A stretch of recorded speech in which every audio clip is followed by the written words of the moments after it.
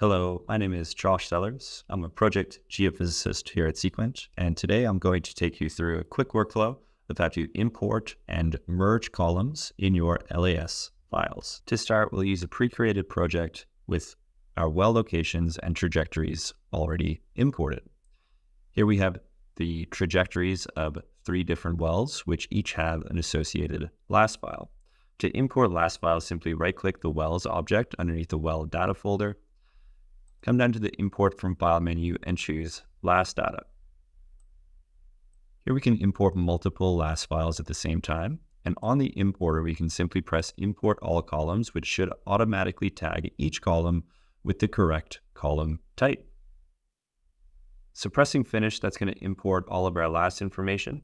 But we can see here that we have multiple different column names for our gamma ray density logs we have one GRD associated with each well path. This is not uncommon to see with LAS files, especially when dealing with multiple different legacy contractors. To combine these into one singular column, we can quickly run a simple if-then calculation by right-clicking the LAS data channel and pressing the Calculations tab. For quick reference, I'm just going to load a pre-created calculation file which combines our gamma rays into one overall combined column. So in the scene view, we can then drag and drop the GRD combo where we have all of our gamma ray logs combined into one file, which we can display in the scene at the same time.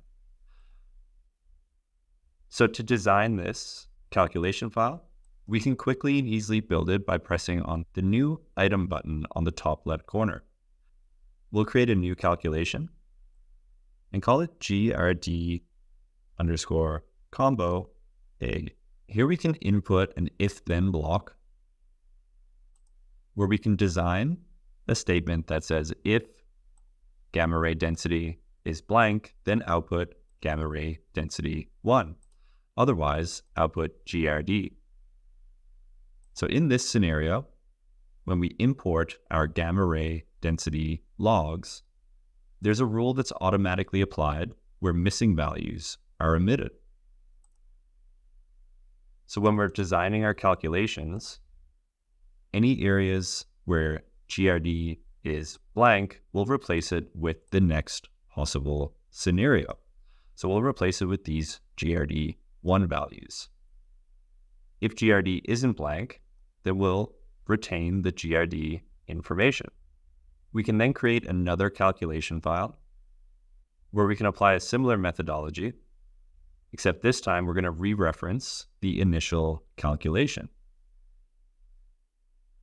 We'll say if GRD combo A is blank, then we'll output the next scenario. If not, we'll retain the information in GRD combo A.